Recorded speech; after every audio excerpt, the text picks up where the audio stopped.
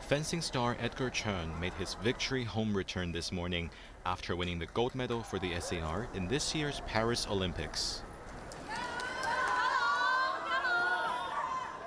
Fans gathered up in the airport to get a glimpse of the fencing king, the 27 year old champion displayed his medal, which is the fourth gold medal in the city's history. Cheung is also the first men's foil fencer to have successfully defended his Olympic title after a 68 year gap. So first of all, I'm happy to get a back-to-back gold medal. For me, it's it's one of the best moments in my life because uh, I have a French coach, and winning in France, it, it was amazing.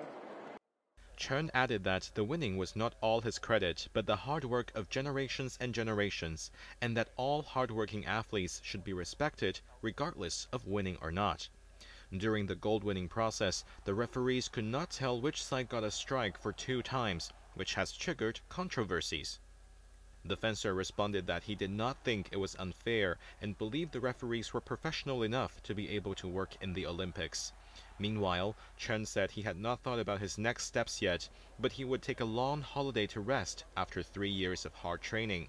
He hoped to enjoy some local food soon, as he is now back home.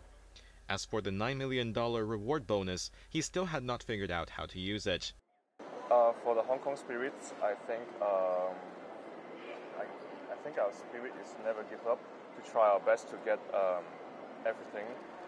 This is how the city's Olympian defines Hong Kong spirit, adding that he hopes more people will be getting into the sport and represent the city.